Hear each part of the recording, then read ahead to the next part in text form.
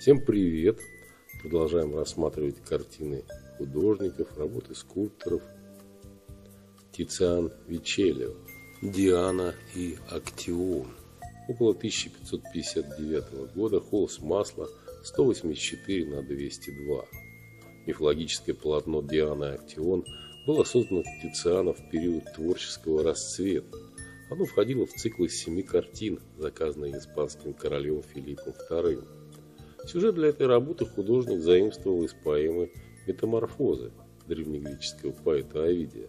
Молодой охотник Актион случайно нашел в лесу грот богини Дианы, вошел в него в тот момент, когда сестра Аполлона совершала омовение, окруженная подругами и служанками.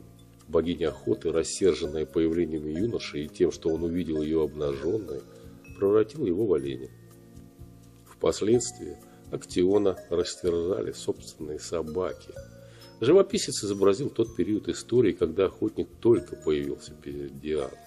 Тициан показывает реакцию обнаженных красавиц.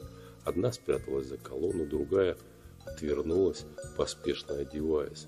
Две купальщицы обмениваются смущенными взглядами. Чернокожая рабыня помогает богине прикрыть наготу шелковой ткани. Остановившись на высоком берегу реки, Актион словно замер от неожиданного зрелища и поднял вверх руку. Он стремится отогнать от себя внезапно возникшее наваждение. Находящийся напротив охотника Диана гневно смотрит на него, готовый обратить обидчика в зверя. На предстоящую развязку ситуации указывает череп оленя, изображенный на колонне, за которой прячется одна из нимф. Работа Дианы и Актион по праву считается шедевром Циана. Она написана широкими пастозными мазками. Художник очень много внимания уделил цветовому решению холста. Колорит строится на сочетании его любимых цветов – оттенков охры и умбры, ультрамарина и насыщенных красных. Для большой выразительности живописец сделал ряд акцентов белила. Это полотно было приобретено Национальной галерее Шотландии в 2009 году совместно с Лондонской национальной галереей.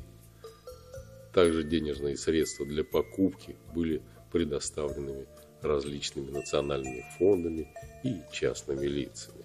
Вот такое описание я нашел к работе Дианы Актион картина Тициана в интернете. Пока-пока, до свидания, всего хорошего.